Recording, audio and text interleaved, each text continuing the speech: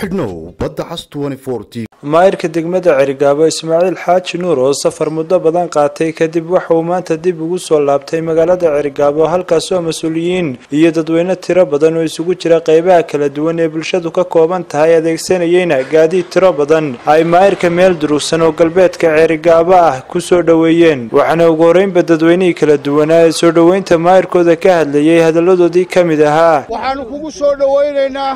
kal iyo laab baannu kugu soo dhowaynaynaa waa naga muuqataa inaannu nahay dhallinyaro iyo carruur waalidkii ka maqnaa oo waayeelkii ka maqnaa inaannu nahay waad aragtaa adna oday dadkiisii iyo waalidkiisii iyo reerkiisii u yimi baa tahay.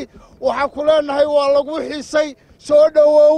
Intuu maqnaa gobolku u indhabeelay oo intiiba la tabayey nabadgelyo haddii ilahay inoogu kaa keenay alxamdulilah ku soo dhowow gobolkaagii degmadaadii assalaamu calaykum waxaa farxad weyn maanta noo ah. Inaannu halkan ku soo dhowaynayno magaalada yufle dhinaceeda guddoomiyihii golaha deegaanka degmada ceerigaabo meeyarkii ceerigaabo duqii gobolka sanaag oo maanta nagaga maqnaa safar shaqo oo dibadda nooga maqnaa iyo gudahaba oo maanta noo soo nabad noqday. Waxaad aragtaa guddoomiya waxaan ku leenahay ku soo dhowow ceerigaabo may kala hadhin yar iyo weyn. Waa yeel iyo waxgarad culimo iyo jiif iyo cid kastaba waa dhan tahay. Reer ceergaabo niyaddii baa ka xumaatay markii hore mar allaale markuu soo noqday baa dadka oo dham soo wada kacay. Boqolkiiba boqol halkay marayaan reer ceergaabo sagaalkii beeloodna waa dhan yihiin. Ee lagu xamanayay reer ceergaabo waanu soo waan ku soo dhoweeynaa maayar maayar waan ku soo dhoweyn ahlan wasahlan odagu intuuna ka maqnaa baahidaynu u qabnay iyo tabista aynu tabnay inaynu maanta ifla kaga hor tagno duruufahayna qabsaday iyo wacyiga aynu aragnay iyo baahidaynu u qabnay baa halkaayna keenay. Marka ismaaciil waa ku soo dhoweynaynaa waxaa iyaguna halkaasi ka hadlay xubno golaha deegaanka cerigaabo ah iyo mas'uuliyiin kale. Guddoomiye ku soo dhowow degmadaadi iyo dadkii aad u ahayd odayga ku soo dhowow adigoo nabadgelye ku yimi adigoo nabadgelye nagaga tegey adigoo nabadgelye noogu soo noqday annagoo nabadgelye ah ku soo dhowow inaannu ku soo dhoweynay magaaladii ceergaabo guddoomiyihii golaha deegaanka ahna duqa degmada mudane ismaaciil xaaji nuur faarax oo muddo badan ku maqnaa safar shaqo. Maanta waxaannu leennahay ku soo dhowow guddoomiye magaaladaadii mandaqaddaadii dadkaagii iyo dalkaagii ku soo dhowow. Waad aragtaa bulshadii reer ceergaabo ee aad duqa u ahayd ee sida ay kuu soo dhowaynayaan dhammaan dadkii rag iyo dumar dhallinyaro carruur haween waayeel cid ka maqan maanta aynu odhan karno. Waxaanu leennahay mudane waxaad maanta nabadgelyo ilaahay kugu keenay degmadaadii aad odayga ka ahayd.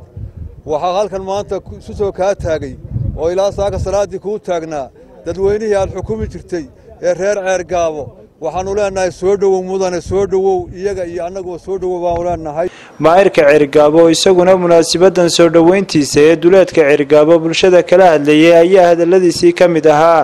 Waxaan u mahadnaqayaa sida diiran ee qalbiga furan ee jacaylkaa ee ay soo dhowayseen iyadoo ay tahay wakhtigii salaadda wakhtigii qadada. Runtii aad iyo aad iyo aad baan idinka mahadnaqayaa. Waxaan idin leeyahay miisaanka xasanaadka ilaa idinku daro. Weliba anigu maan soo sheegin inaan marayo. Kolay warkunba hesheen ma idinma abaabulin anigu. Runtii waxaan aad iyo aad wakhtiga aynu kolkii joogno ilaa saaka aad ku jirteen waa arrin la yaab leh aad iyo aad baan idinku ducaynayaa aad iyo aadna ugu faraxsana intaasi kadibna oo maayirka loo soo gelbiyey gudaha magaalada cerigaabo ayaa kolkii uu gudaha magaalada galay wuxuu mar kale oo fagaare dadweyne tiro badan oo soo dhoweyntiisa u taagnaayeen soo gaadhay kala hadlay kuwaasi oo uga mahadnaqay sida ay u soo dhoweeyeen sida diiran ee qalbiga furan ee jacaylkaa ay soo dhowayseen iyadoo ay tahay wakhtigii salaadda wakhtigii qadada. Runtii aad iyo aad iyo aad baan idinka mahadnaqayaa waxaan idin leeyahay miisaanka xasanaadka ilaa idinku daro. Weliba anigu maan soo sheegin inaan marayo kollay warkunba hesheen ma idinma abaabulin anigu. Runtii waxaan aad iyo aad wakhtiga aynu kowdii joogno ee ilaa saaka aad ku jirteen. Waa arrin la yaab leh. Aad iyo aad baan idinku ducaynayaa. Aad iyo aadna ugu faraxsana